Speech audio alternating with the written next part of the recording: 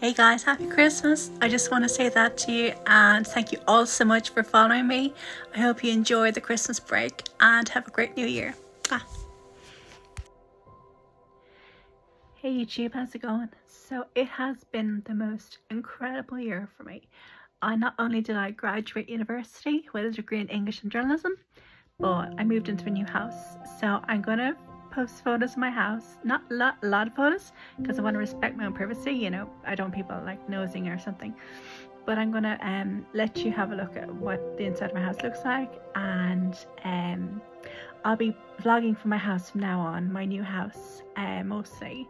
Um, I'm not allowed to vlog from shops, which is a pity, but in this country they don't let you film inside shops, so um, it'll have to be outdoors but there's beautiful scenery here in the west of Ireland so um, I'm going to be vlogging from the outdoors more often and um, yeah I've basically been in limbo for the past couple of well past six months at least anyways.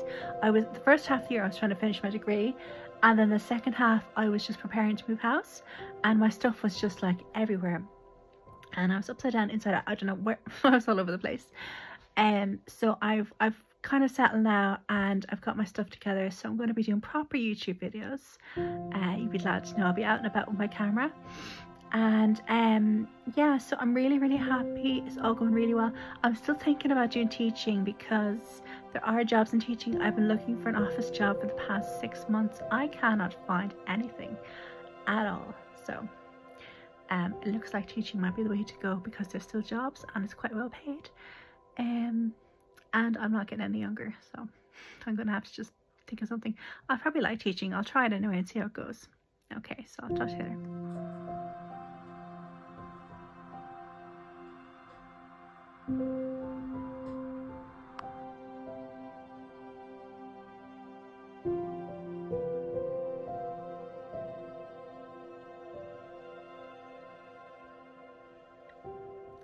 Hey guys, so, you know, when you kind of, you start off doing one thing and you end up doing something else.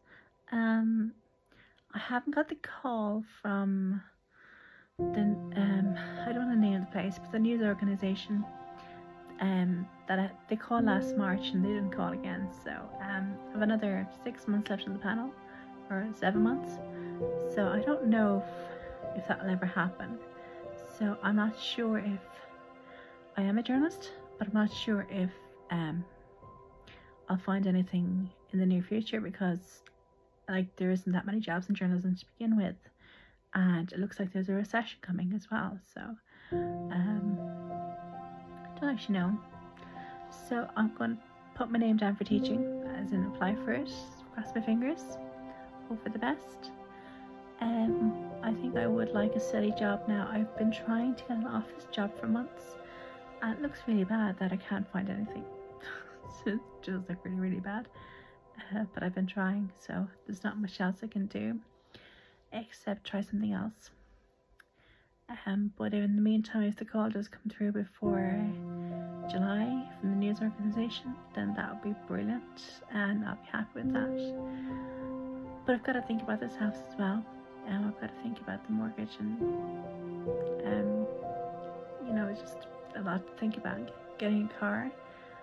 So, I mean, I don't know if freelancing and doing casual work is right for me at this point because I need something steady I need a, you know, I can't be doing casual work anymore. I'm in my, in my 40s now and it's just, I need to kind of, you know, settle into a job for pretty fast, I think.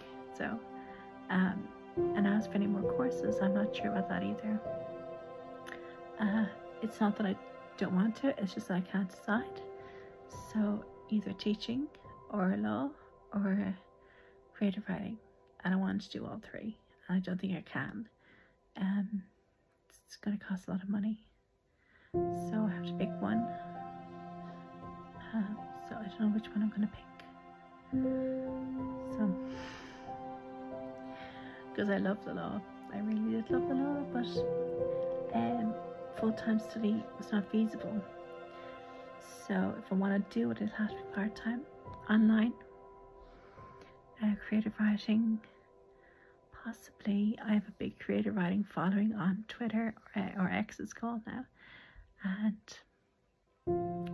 uh, I I think there's a niche there, but that's not a day job. Writing is not a day job, so it's only for the lucky few who really make it. So, um, so I don't know. And there's also the option to teach English as a foreign language, but I have to do another course called the CELTA course.